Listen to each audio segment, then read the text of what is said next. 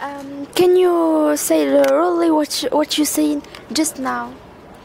what we do is we do university education for young generation. We teach them how to do environmental businesses, so protect the environment and make some money at the same time. We do this not only in Germany but also at six universities all around the world. And one of our university partners, the Al Akhawayn University, where we offer a dual degree.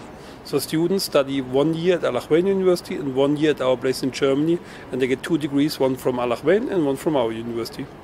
Uh, please, can you can you give a, a last word for the children who uh, who's uh, just watching now?